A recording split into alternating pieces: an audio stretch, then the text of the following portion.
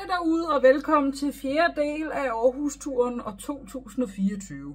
Jeg regner med, at det bliver en forholdsvis kort video, fordi der skete egentlig ikke så meget på dagen, udover at vi var på vej hjem. Så øh, ja, det synes jeg da lige, vi skal se kort af. På forhånd så vil jeg sige tak, fordi I har fulgt med i den her lille miniserie, der har været om Aarhus-turen. Det var som så vanligt en rigtig hyggelig tur.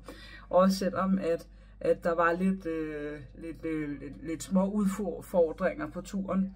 Og ja, I har lige fanget mig en dag, hvor jeg er sådan rigtig søndagsgrim, så det håber jeg, I lige bærer over med mig med. Så øh, ja, lad os bare komme i gang. Ja, Erling er dog lige på toilettet, og godmorgen til jer alle sammen. Det er blevet hjemrejsdag, og vi står, eller jeg står herover og kigger på alle de ting, jeg mangler at pakke ned endnu. Øh, vi har så godt vi nogle gange har kunnet det prøvet at øh, få ryddet op efter os. Der kører lige lidt reklamer efter Godmorgen Danmark i baggrunden, fordi vi mangler lige at lukke af, inden vi er færdige med morgenmaden. Og nu kommer Erling også ud og siger hej. Hej hej. Halløjsa Erling.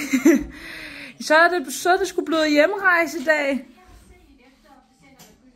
Ja, så er det så. Ja. Så en masse, du skal med hjem. Ja, så må man godt nok sige. Jeg har lige stået og fortalt om, om alle de mange poser. Erling havde lidt på. Det er Erlings ting, der står derovre. Øhm, fik det løst det med posen og flaskerne og det hele, som du også skulle have med, Erling? Ja, ja, jo. Som sådan, ja.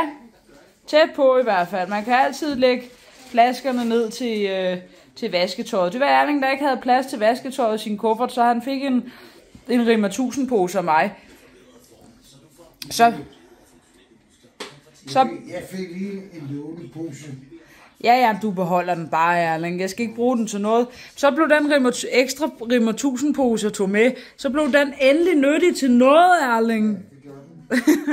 Man kan altid bruge en ekstra pose.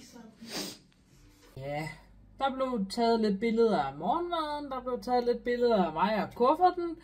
Og øh, så var Erling og jeg ellers på vej hjem. Vi nåede lige forbi en Rema 1000, hvor vi købte lidt, øh, lidt tips og, og lidt sodavand. Jeg havde godt nok taget nogle nødder med hjemmefra, men øh, ja, jeg synes lige, der skulle være lidt ekstra. Og, og det her, det bliver nok en af de korteste videoer, jeg nogensinde har lavet. Fordi det var faktisk det. Øhm, der skete faktisk ikke mere. Jeg synes bare, jeg ville dele onsdagen og torsdagen op nu, hvor jeg havde nu hvor jeg havde lavet en video for næsten hver dag-agtigt.